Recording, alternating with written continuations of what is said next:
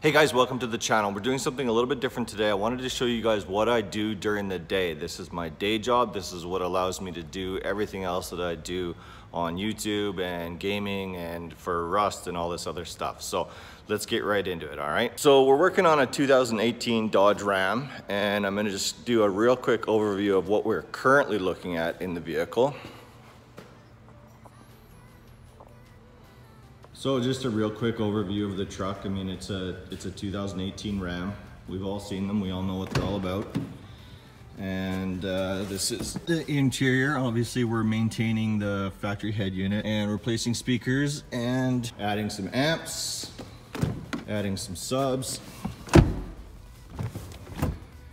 And yes, he already currently has an amp in here. It's uh, not really installed, it's just kind of sitting there. So obviously we're gonna fix that. We're going to be replacing the wiring. This is actually all the gear that we're putting in. So JL 4 channel plus the JL monoblock that's already in there uh, that we'll be reinstalling. JLC5 components, we'll be running them active off the 4 channel.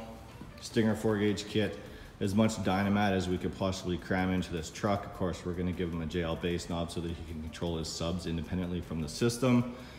And the JL Tweak 88 and AP4CH41 to get our signal out of the factory head unit. So I'll be showing you guys step by step the different processes that we're taking along the way. Uh, we're gonna, the plan is, and plans are always meant to be destroyed, but we're gonna do our best. Uh, the plan is we're gonna start at the front and work our way back. And uh, hopefully by end of day two, uh, we'll get started on the construction of the enclosure. So first up, we're gonna start at the door locations. We're gonna be pulling out the factory 6x9s and both the front doors. And we're gonna be running his tweeters up on the dash in the factory three and a half inch location.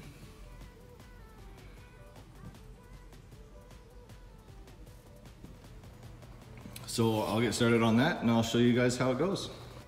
All right, so now we've removed the factory door panel off of both front doors. And uh, so this is what it looks like inside the, the passenger side door of a 2018 Dodge Ram. This is the factory 6x9 location that we're gonna be using for our JLC 5 6.5. So obviously we're gonna see some trickery and some fabrication done there to make that work. And uh, we're also gonna be laying some Dynamat in this door. So we actually have to remove this, this panel, this entire panel, so that we can get to the exterior uh, side of the door so that we can start laying some Dynamat. All right, so after a couple of minutes of uh, removing the interior panel of the door, this is what we're left with. As you can see here, it's almost like they wanted us to do this work because they made it so super easy for us to remove this panel, which houses the, the window regulator and all the controls for the door and it gives us this wide open space to lay as much Dynamat in here as we want to and uh, very much increases the quality of the sound that we're going to end up with at the end of this project. So I'm going to get the inside of this door panel cleaned up. I'll clean up all the dust and debris that might be in the door or whatever and we'll start laying some Dynamat and I'll show you guys how it looks when we're done.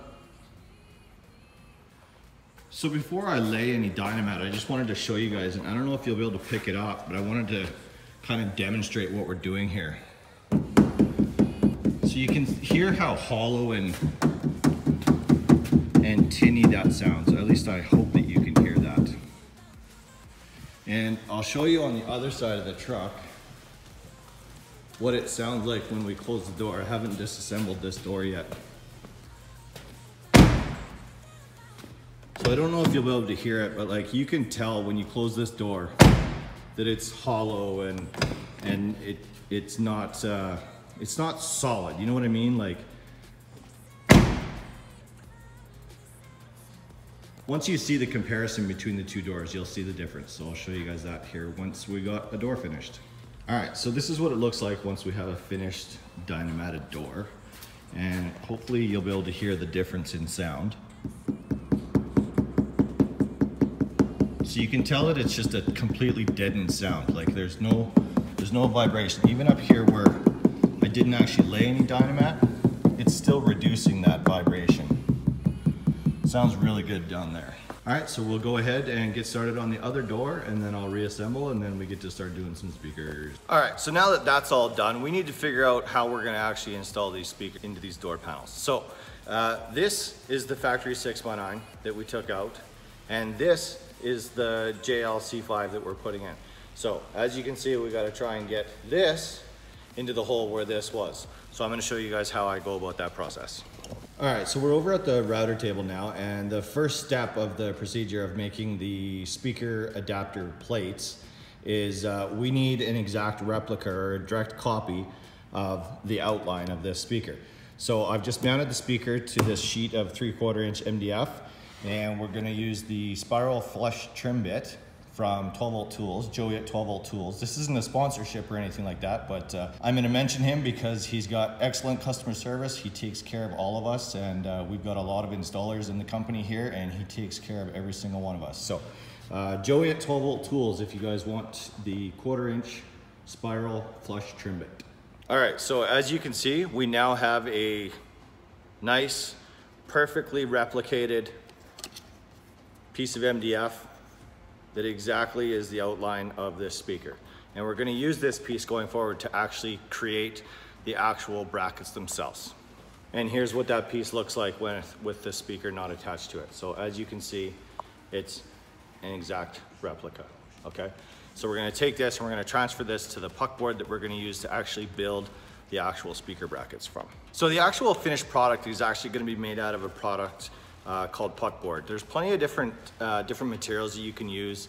Uh, you can use HDPE, you can use expanded PVC, you can use you can use MDF or plywood, I guess, if you absolutely have to. The industry is trying to get away from using anything that might absorb moisture or anything like that because these are going in the door.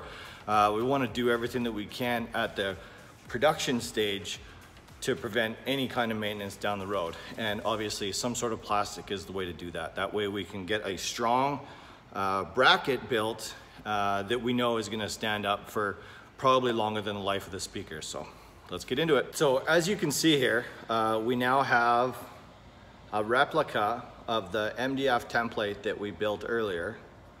And this, this is actually four layers. I don't know if you're gonna be able to see that or not. Yeah, so this is four layers. So I've actually laminated uh, two layers together and two layers together and then just template taped the two pairs together into one unit. So I can work with this whole thing all at once, uh, making all my adjustments and making it all pretty and stuff like that all at one time, uh, making it super easy for myself. So this is of course what our project looks like uh, without our template attached to it. And we've got some, I'm gonna do a round over on the exposed edge on top and bottom. Uh, and I'll probably uh, reduce this down a little bit here too so it's not because this is actually a really sharp edge right here uh, from the, the spiral flush trim bit. And then uh, we got to transfer our holes from our factory speaker so that our, our aftermarket bracket can mount in the same location. We also need to transfer the mounting holes for the speaker onto here as well. So we got a little bit of work left to do, uh, but uh, let's get into it. Alrighty, so here is our finished project. We have all of our mounting holes uh, transferred over for the speaker to mount to. We've got our mounting holes transferred over to actually mount this plate to the truck. And through the magic of uh, video editing, now we have two perfectly fabricated replicas of the factory speaker which of course will allow us to mount our JLC5 in the factory location. All right, so I'm gonna send those two out for paint while I start working on the uh, factory three and a half inch tweeter location. Um, I guess it's not really a tweeter, it's more of a, a high range speaker, but we're gonna replace that three and a half inch with the JLC5 tweeter. All right, so the next step in the process is we need to access these three and a half inch uh, speaker locations and that's on both sides of the truck of course. So I'm going to disassemble that and I'll show you guys what that looks like underneath there and I'll show you the process that we're gonna take in order to put some tweeters in there. So being in the industry that we're in, we always have to be prepared for surprises or things that we didn't know are there. So I've removed the A-pillar, as you can see, and exposed the speaker location to find that it's been replaced with aftermarket speakers.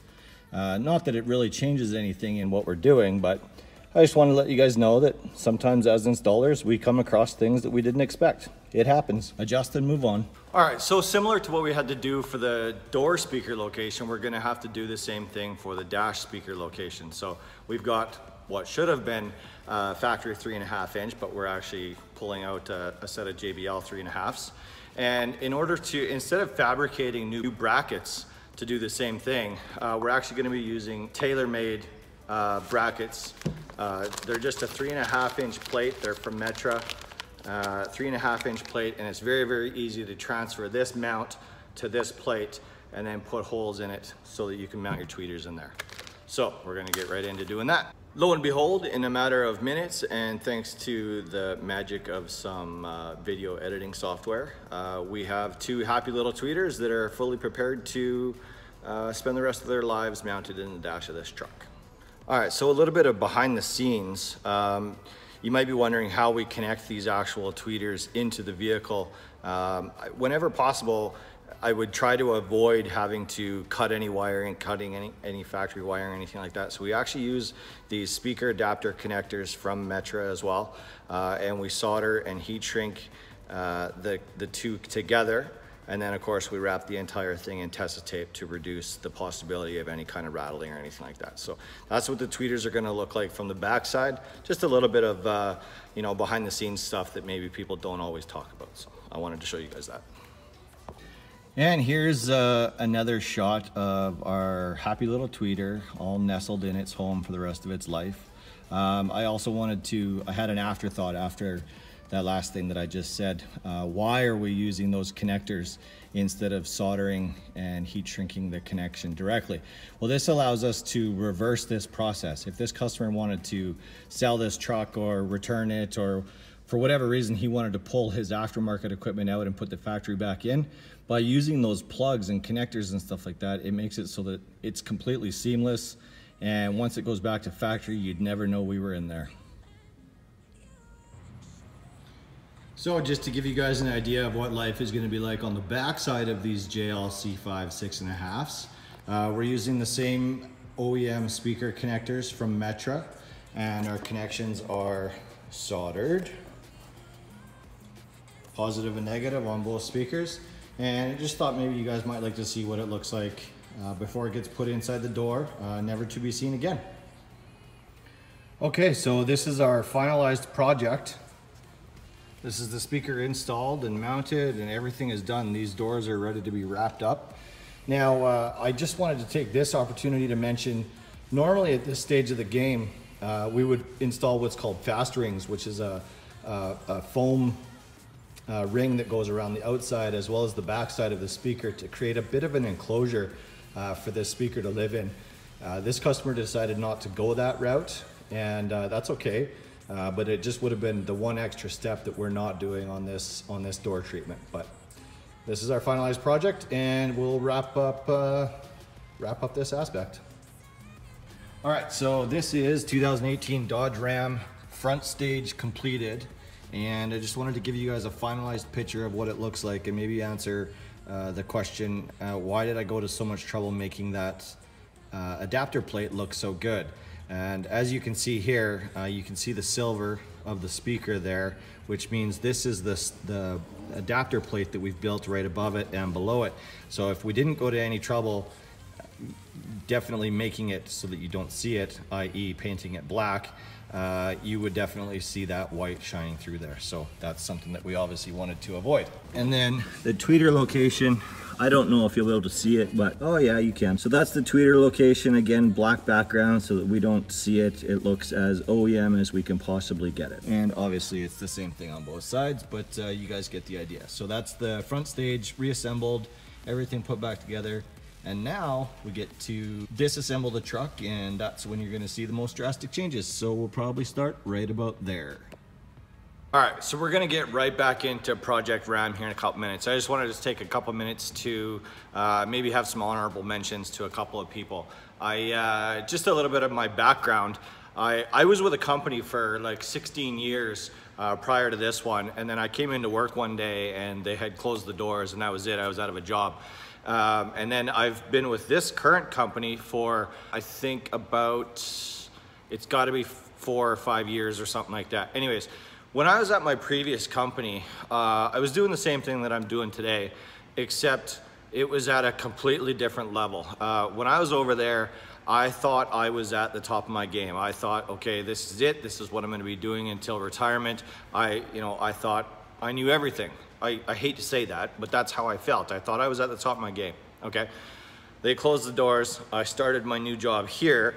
And within a couple of days, I very quickly realized I didn't know anything. The people that I work with at this current company, um, and I don't want to mention the name because I don't exactly have their permission to say their name on a, a live format like this, but uh, the people that I work with at this company, they challenge me, they test me, they teach me things that I can't even, at my previous job, I never, I had no idea that this type of stuff was, I didn't even know that it was, I didn't know what my capabilities were uh, until these people uh, showed me what I could do. Uh, they, they have upped my game.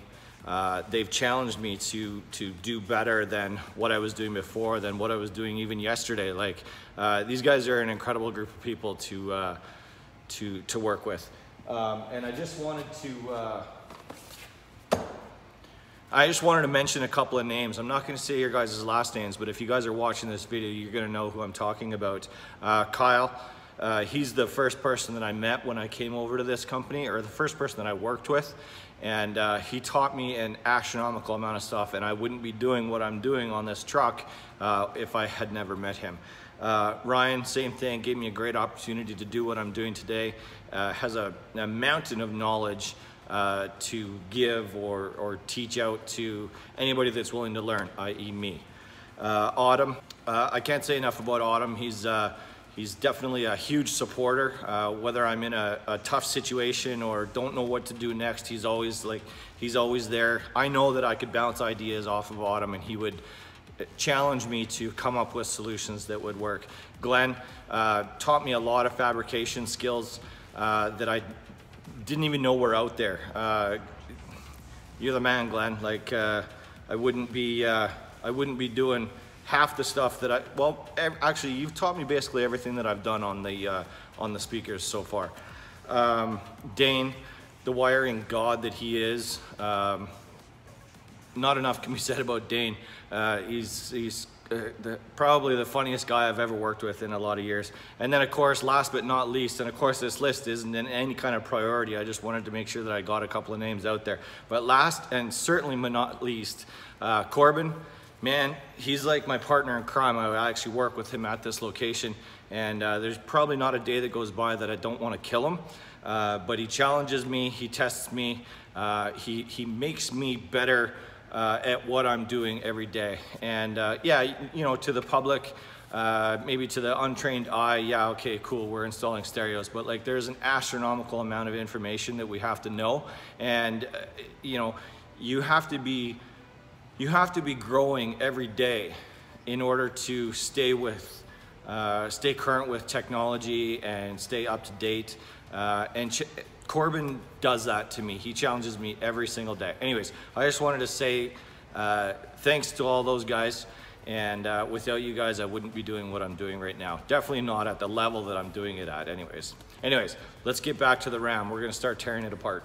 All right, so we're inside the truck now, and uh, like I said at the introduction of these these videos, uh, this customer wanted to retain his factory head unit, and seriously, there's no reason why you can't. Uh, there's so many integrations with this that you want to keep. Um, you know, I don't blame the customer for wanting to keep it. Uh, there are some solutions out there uh, that would allow the customer to change the factory head unit to an aftermarket one and yes he would still retain all of these features and stuff like that but why when we can do the exact same thing actually better uh, by keeping the factory head unit. And the way that we're going to do that the way that we're integrating with the factory head unit is with the AP4CH41 so I'm going to start tearing this dash down and I'll show you guys exactly what we're doing inside the dash. Before we get too far into this uh, as you'll remember during my introduction video uh, there's uh, there is already a system in here and we don't know exactly how they've integrated with the uh, with the factory head unit. Uh, That amp is somehow connected to the factory head unit and we're probably gonna learn that here in a couple of seconds. All right, so as you can see, we have the entire center console disassembled and the radio removed.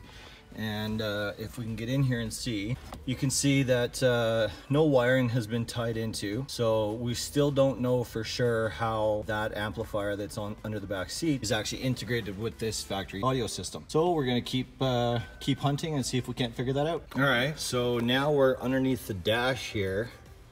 And much to my surprise, as the secondary location to be looking, um, I don't see any uh, I don't see any indicators of a high level in here. So that's the factory amplifier right there, those black heatsink fins. And uh, there's still no indicator anywhere in here that anyone has tied into the wiring. So we'll keep looking. Uh, while I'm down here, I will show you a couple of things. This wiring right here is going to the ignition node.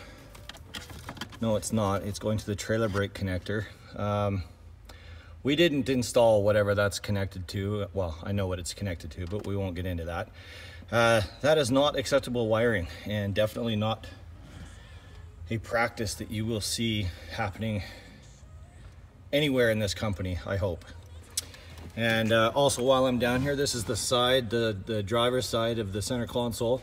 There's a nice removable access panel. That'll be where the uh, JL bass knob will be installed, flush mounted. All right, the search continues. So a fairly standard third location to be tying into factory wiring to get a signal out of a factory speaker is in the B-pillar location where the wiring for the rear door comes into the cab of the vehicle. So in order to properly disassemble this B-pillar, you actually have to take off the C-pillar and the seat belt and everything like that, which of course means we need to remove that seat. So we're gonna go ahead and do that. All right, so now we have the seat removed. We've got the B-pillar cover removed. We're starting to see some evidence of wiring, aftermarket wiring. There's the seat belt removed, the C-pillar cover removed. And so we've got power here and ground. Well, at least they scraped the paint off. It's not bad, I guess. I've seen worse. I've seen a hell of a lot better, but I've seen worse. And so I'm still not seeing any speaker level signal uh, we've got a set of RCAs there and it's going somewhere. So the search continues. So now I've removed the 60 side of the seat to carry on our search. And as you can see, we have RCAs and remote and speaker wire actually. Uh, this is on the passenger side of the truck. I assume it's heading into this B pillar. And uh, okay, so we're gonna keep disassembling until we find the termination of all these wires and then we will finish the removal, I guess. All right, so now I've disassembled this entire side as well. And this isn't an exercise in futility. Even if we don't find what we're looking for, all my wiring or half of my wiring will be done on this side of the vehicle anyways. So this all needed to be done anyways and our amp rack will be on the back wall. So that all needed to be done anyways too. So um, I see the retainer clips are missing from one, two, three, four locations. And I have a feeling that, so yeah, here we go. Here's our high level. And it's actually a decent high level LC7i. I'm actually quite surprised that they used that much of a piece of equipment for just running a sub. There's uh, cheaper options that would accomplish the same job. And it looks like, yeah, so what they did here is they tied into the factory subwoofer outputs coming from the factory Alpine amp. Okay, so that's good. I'm glad that we found it. We needed to find it so that we could uh, completely remove it. And uh, so yeah, I'm gonna get started on that. And now we know where everything is coming and going. Well, now we have a clean slate to start with. All of the aftermarket wiring has been removed. Power wire is gone, high levels all gone. Every ounce of wiring has been removed from this vehicle. And now we get to start from there and we're gonna start with the rebuild process. So we're gonna start with signal. All right, so as you can see, we have our AP4 plugged in, and this will plug back into the factory head unit, and there's our AP4 right there. So basically what this device does is it takes the non-variable voltage coming out of the factory head unit, which should reside right here, uh, and turns it into a signal that we can actually use later in the back uh, after we process it through the tweak. Now you might be wondering why we're only using one set of RCAs coming out of this uh, AP4. Uh, but that's because we're just running uh, one signal back to the tweak and then we're going to process the signal into separate channels at the tweak uh, using the software that comes with the, that DSP. You'll see it'll make more sense as we start assembling at the back half of the truck. Okay, so I should have taken a picture or a video beforehand, but I just wanted to show you guys that this is what our harnesses look like. This is a factory harness, but we've actually integrated eight separate wires into this harness and it's ready to be plugged back into the factory amplifier. But uh, this is this is the effort that we go to with building harnesses. We want to make it look as factory as possible. And as you can see, like, so this right here is the factory harness wrapped in factory Tesa tape. And this is our harness after, still wrapped in factory Tesa tape, or, or aftermarket Tesa tape, I should say. But the the attempt is to make it look as factory as possible. So I can plug this back in and you would basically, you, you basically wouldn't even know that I was in there. So I know it's kind of hard to see, but you can see the amplifier just to the left of the screen there. That's with my harness plugged back in, everything fully functional. But the idea is to make it look, and other than the, the blue nine wire that you can see there, you would hardly even know that I was in there at all. While I'm down here and uh, just about to put everything back together, uh, I discussed earlier where I was gonna place the JL bass knob, and that's just on the, the side of the center console there. Fairly discreet and out of the way. Looks good flush mounted in there, of course. Just wanted to show you the finished product of that. So I've just finished all the wiring to the back of the vehicle. So we've got power and our nine wire conductor, as well as the cable for the bass knob all ran through the back. I just wanted to show you guys what things look like after I'm done. So all of our harnesses are always, like any wiring that we add, all of the wiring needs to be secured to the vehicle even though that this is never gonna be seen after the carpet is placed back down, uh, you wanna know that it's gonna stay secured, it's gonna stay in position. Uh, we've got the seat rail that runs along right here. We gotta make sure that our wiring stays safe from that. And uh, we use this, the uh, Tesa cloth tape. It's got a, a, really strong adhesive on it. We know that this wiring is gonna stay in position for a long time. It's not gonna rattle. It's not gonna move around. It's not gonna come loose. Anyways, I just wanted to show you guys what the wiring looks like underneath the carpet, even though you'll never see it once this job is complete. I also wanted to show you what our ground connection looks like. Quite often you'll see people will ground to uh, like seat mount locations or seat belt locations or whatever. Uh, we always try to do the best possible ground. So we've used a, a, grounding kit here with a 13 mil stud. The, you know, the paint is obviously scraped away so that it's bare metal on metal. And then of course we cover the entire thing with anti-corrosion gel after to prevent any kind of rusting or corrosion or whatever that might happen. So because we're gonna be removing this back panel here, the black that you see, um, this is actually from factory, basically a sound deadening layer from the inside of the cab to the outside world. It prevents a lot of road noise and stuff like that. So Seeing how we're gonna be removing this, we have to dynamat this back wall to take it back to the sound deadened state that it's in right now, uh, but without this panel. Okay, so one of the biggest challenges that we have with these newer vehicles, as you can see, the back wall is is spot treated with Dynamat. And we've successfully killed any potential road noise that might come through. So now I'm left with uh, trying to figure out how these amps are gonna mount. Plus I have to have a tweak in here as well. Plus I need to have distribution all mounted on this uh, panel that I've built for the back wall. So that's uh, it's gonna be a task. So let's see what we can come up with here. All right, so after a little bit of adjustment to the original plan, I was actually able to get everything laid out in here as best I could while utilizing as much space as possible. So that's what she looks like and we'll get started on wiring it up.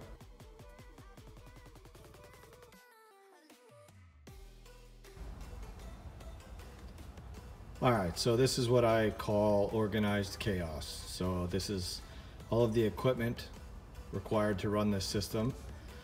And except we've disconnected the tweeters here because we don't have a tune installed on the tweak yet. So we have to protect the tweeters because otherwise we'd be running full signal to them. But other than those two RCAs right there, this system is uh, ready to be powered up and good to go. So the next step is constructing our enclosure. So let's get going on that stuff.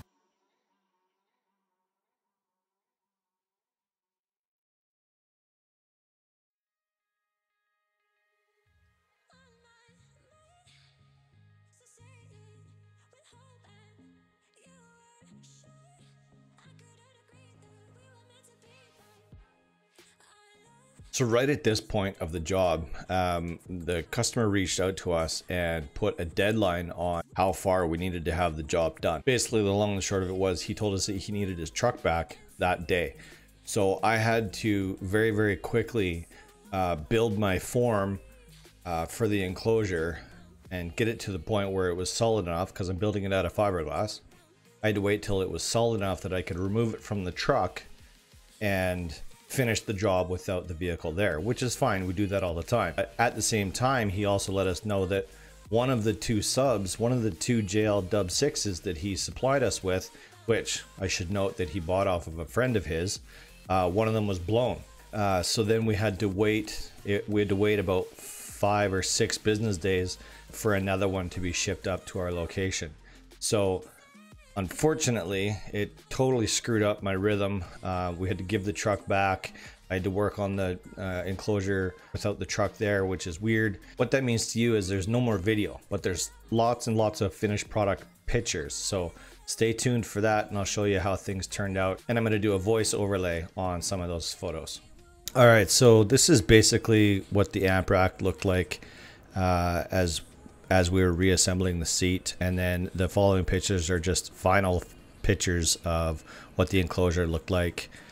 Um, we spent a lot of time dressing this up. Turns out the customer didn't actually want it this dressed up, uh, but it looked really good and he was actually surprised with how good it was because he didn't ask for it that way. But it turned out